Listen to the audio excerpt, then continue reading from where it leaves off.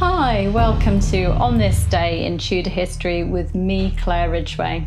Now, today I'm taking you back to the reign of Queen Elizabeth I. For on this day in Tudor history, the 12th of August 1570, Lady Ursula Stafford, only daughter of the late Margaret Pole, Countess of Salisbury, died. Here are some facts about this interesting Tudor lady.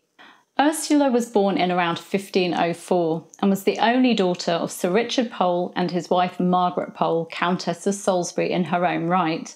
Ursula's maternal grandparents were George, Duke of Clarence, brother of Kings Edward IV and Richard III, and his wife Isabella Neville. So Ursula had Plantagenet blood. Ursula's father died in 1505 when she was just a baby. Ursula is first recorded in the court records in 1513 when she was about nine years old, and King Henry VIII granted his dear and well beloved cousin gowns, kirtles, and fabric. In October 1518, when she was about 14, she married Henry Stafford, son and heir of Edward Stafford, 3rd Duke of Buckingham, and went to live in the Duke's household. They went on to have around 14 children together, the first being born in 1520. In 1521, Ursula's father in law was executed as a traitor, and although Henry and Ursula were granted some of his lands, the most valuable ones were taken and given to others. Their daughter Margaret was placed with her grandmother, the Countess of Salisbury, and their daughter Dorothy with Princess Elizabeth to help the Staffords' financial situation.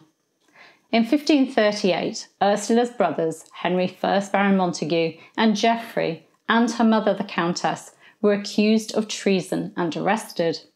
It was said they'd been corresponding with Ursula's other brother, Cardinal Reginald Pole, who'd famously fallen out with King Henry VIII after speaking out against the annulment of his first marriage.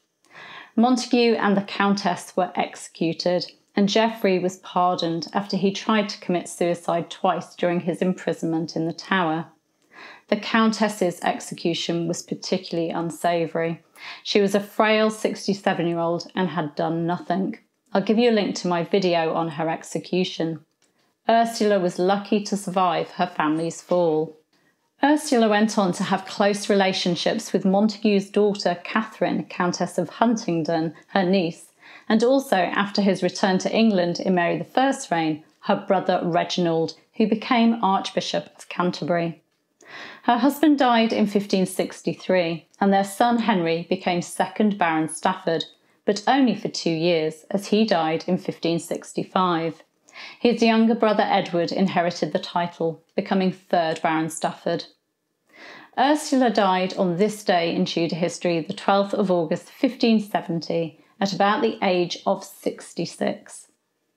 Also on this day in Tudor history, the 12th of August 1560, Thomas Phaer, translator, lawyer, physician, and paediatrician, made his will after suffering an accident. Phaer became known as the father of English paediatrics for his works, which included the Book of Children. And in last year's video, I shared some details about this man and also some of his rather interesting remedies for caring for children. So I'll give you a link to that so that you can watch that. Thank you for joining me today. You can subscribe by clicking round about there. You can hit the bell to be notified as these videos go live. You can give me a like and leave me a comment. And don't forget to check out the description for links to other videos. Thank you. Take care. Bye bye.